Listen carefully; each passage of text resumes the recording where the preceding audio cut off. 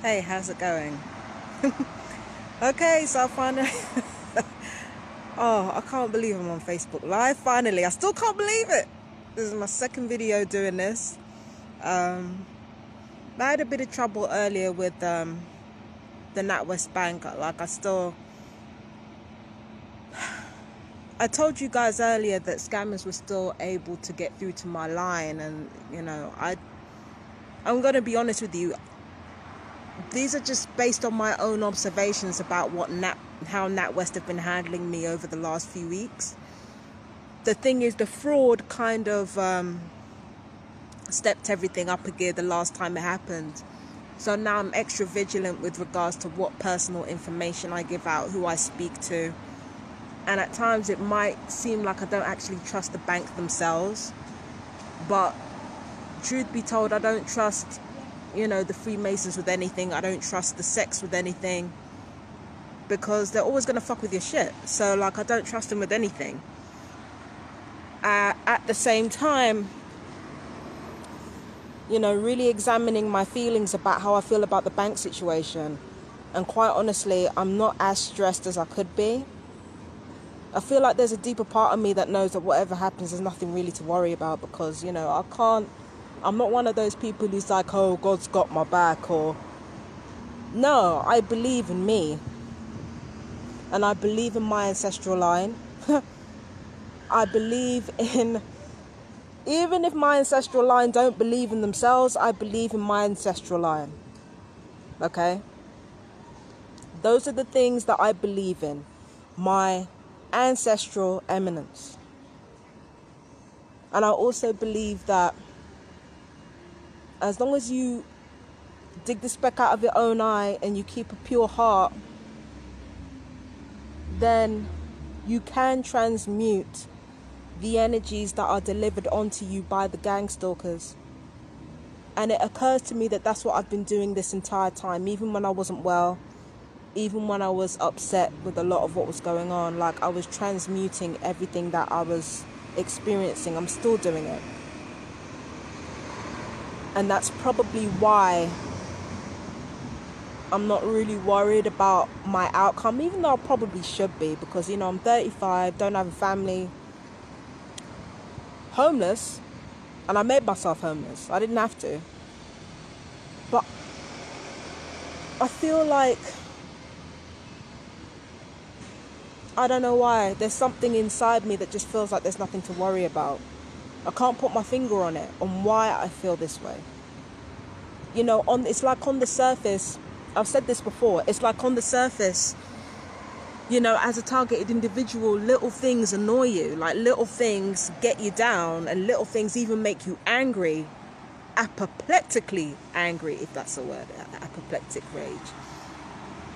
But it's like at this deep seated level of your being, there's an inner security it's not numb, it's not non feeling, it's just steady. These, these dogs around here are just so cute. Like, I, I can't even. they are so cute. Okay. Um, so I feel like like the, you know there are so many problems that a TI goes through like the torture the psychological mind games and things like that and yeah it gets annoying but because i take it and i transmute it and i turn it into personal power and also what i also try to do is keep my heart pure. Keep my heart pure. Keep my mind pure. Keep my actions my intentions pure and that is what kind of gets me through everything that's why i haven't been talking to you guys as much that's why I haven't been ranting to you guys as much. That's why I haven't been as upset. Is because I have to make a decision. Am I going to win? Or am I going to have peace? and I've decided to have peace. the only way you're going to win the game is if you don't fucking play. Let them do what they want to do.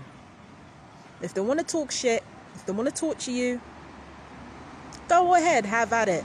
but make sure that you have a solid foundation. Like you know what to do when you're in pain, you know what to do when you're um, when you're emotionally you're not feeling as well as you could feel. Have a plan. Have a plan, have a solid foundation as to what to do when those moments where every, it feels like everything's on top of you. Have a plan as to what to do when it gets to that point. That's all you need to do. A lot of people act like it's complicated. It's not complicated. You're going to have bad moments in life. And especially if you're a woman, it's going to affect you in a really, really bad way emotionally. So, what you have to do is you have to prepare for that. Prepare for your hormonal shifts, prepare for your emotions, prepare for all of that so that you're not caught short when things go wrong or when the um, targeting amps up or when things get out of control. You know, you'll have all those surface emotions like anger, like discomfort, and things like that, but on the undercurrent, you'll know what to do. That's what I do. Whenever I have a little worst case scenario, I always imagine the worst case scenario in my mind and I prepare for it. So when problems do arise, it's not like I don't get upset, but because I know how to transmute my situation into my advantage. And that's a skill that every marginalized person has had to learn, especially if you're if you're black, if you're a TI, if you're a woman, if you're queer, if you're not Christian, or, you know, even maybe if you are and you believe in a different type of Christianity that goes against the mainstream. And no, I'm not talking about Westboro, Westboro Baptist Church. Fuck, fuck those motherfuckers. I'm talking about the ones who openly criticize the way Christianity is being practiced and, and you know, in their mind, they seek the true religion because there are a lot of frauds in the Christian Christian sect or Christian religion, and there are a lot of real ones. There are a lot of real Christians who don't like what they're seeing. So,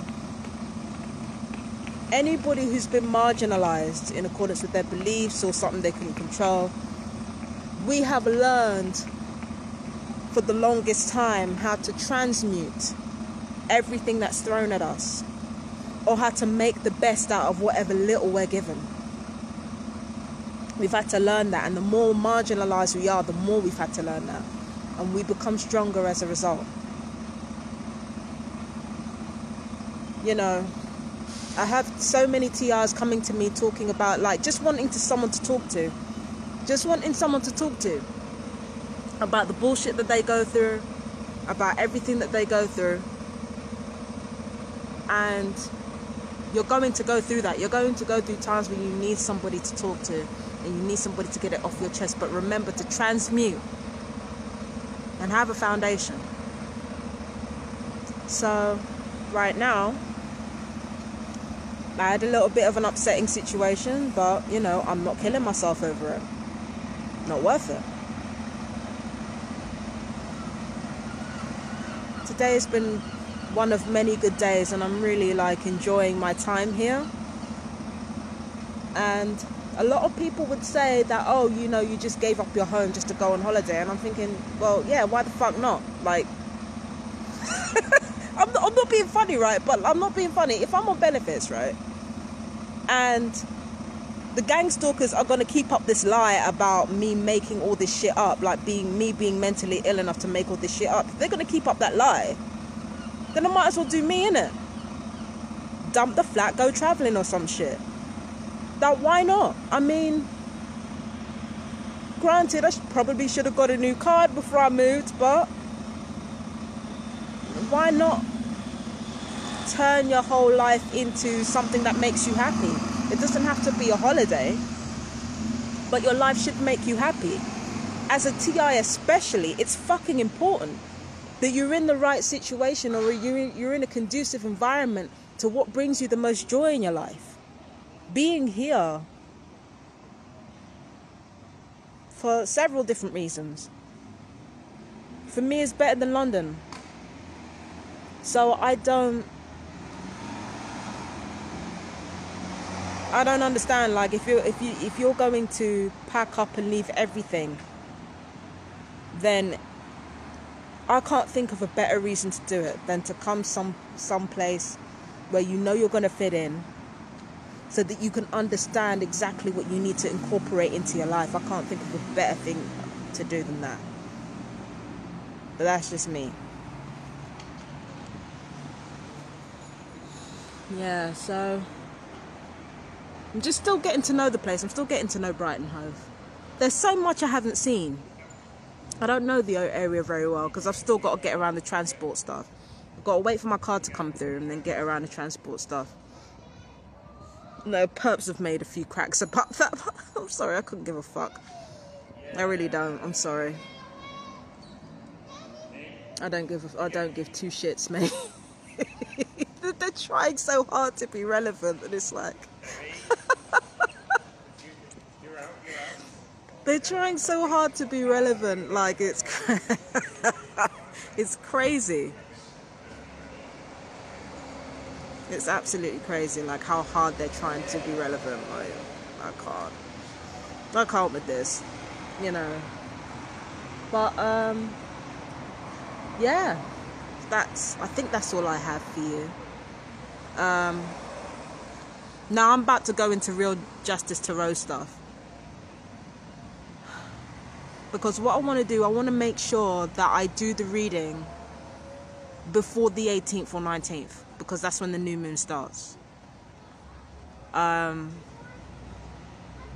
yeah, I'll, I'll probably do that. You know, so let's see. Let's see what happens though. Let's see what happens. But anyway, I love you guys. Stay safe. Fabianne out. Peace. Mm.